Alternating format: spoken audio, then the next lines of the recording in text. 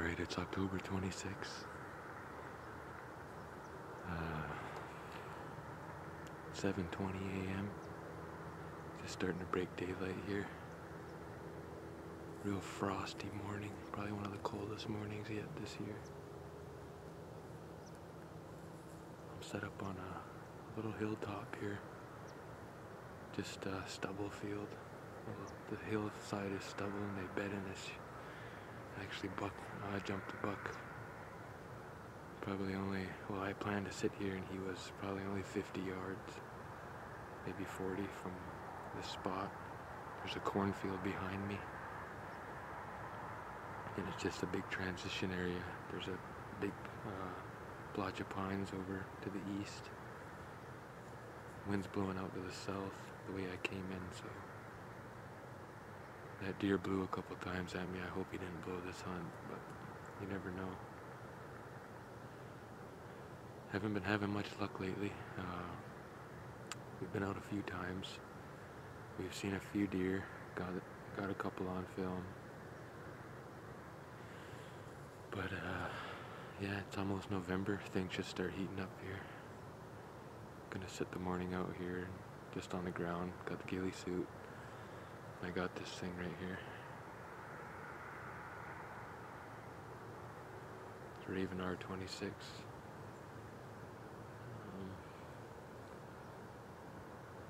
still gotta break it in. I probably I probably won't take any uh, any does if I get the chance today, so it's kind of a bucks only kind of morning. Feels good though. I brought the rattle bag. I brought the grunt tube, so I'll do some calling and see what happens.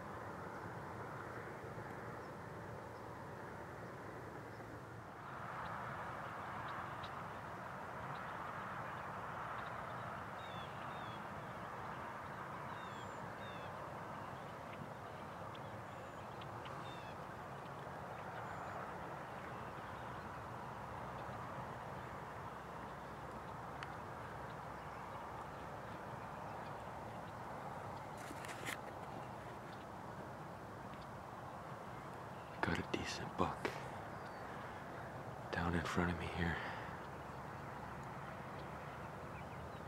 He's only a 160. Looks like he's kind of working to the east. He's, he must be working a scrape. He's been standing there for a while. I hit the I hit the rattling horns before I seen him. I don't know if I got him on his feet or what. He definitely can hear me though. I'm just, if he keeps working east, I gotta cut back to this, this little hilltop, try and cut him off.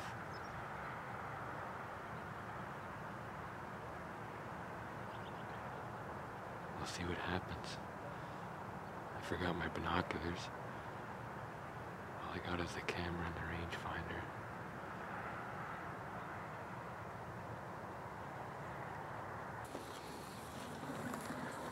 Right, I came back to the hilltop. Moving to the east here. I'm gonna try and cut him off. He's going towards these little willows down here. I was through there the other day. It was all scraped up.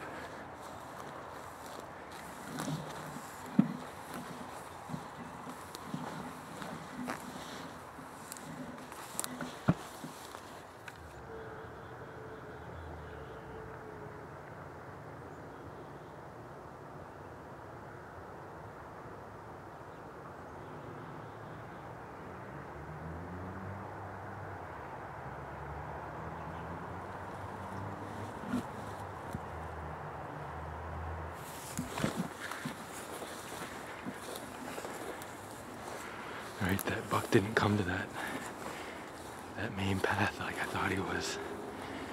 I got to 80 yards from that path. If he would have took that route, it would have been a shot. He cut into that little chunk of hardwoods. He's going over to these pines to the east that I talked about. So I'm gonna try and cut him off again.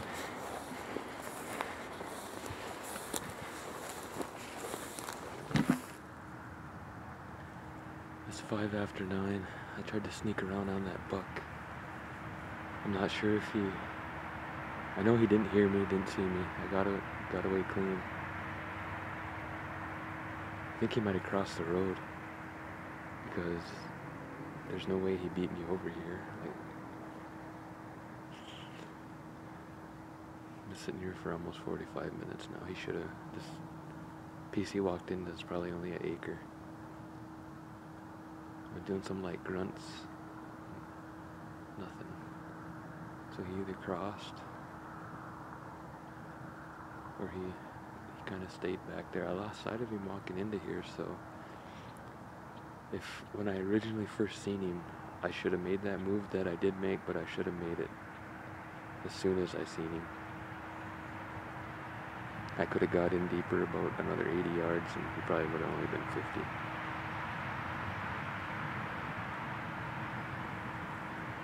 But I might uh, start making my way out now.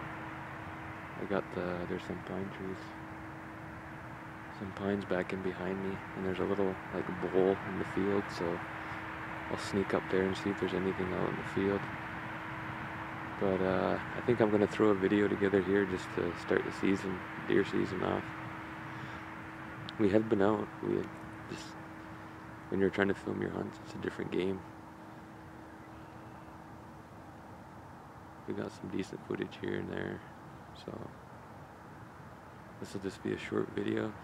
Like I said, you live and you learn. I should have moved quicker on that buck, I guess. It was a good morning. There's still some frost on the ground, but it's melting, so I should be able to sneak around in here a little bit.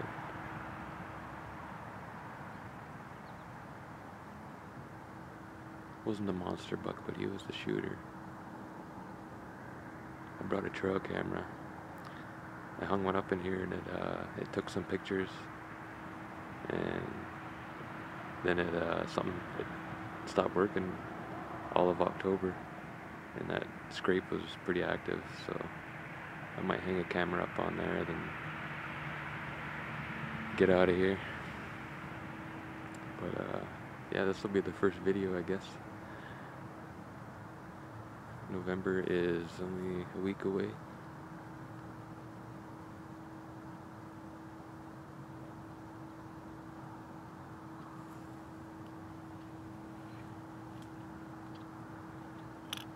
Alright, we'll see you in the next one if nothing else happens here.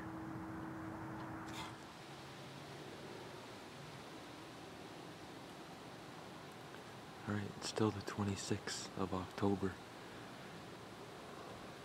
Had a pretty eventful hunt this morning. Had that one buck come in, I couldn't get a shot at a different spot this evening. It's only 10 after 4. Got a couple hours of daylight left. Just gonna sit the evening out here. Anything comes through and gives me, a, presents me a shot, I'm gonna take it. So, fingers crossed that we get some action here. This is actually Jordan's tree stand. He said I could come and sit here for the evening, so. He hung this a couple days. He put a camera in here. Got some deer on camera just before dark, so he's got a mock scrape right there in front of the camera and they were hitting that scrape. Had a big cold front this morning, so anything can happen. Stay tuned.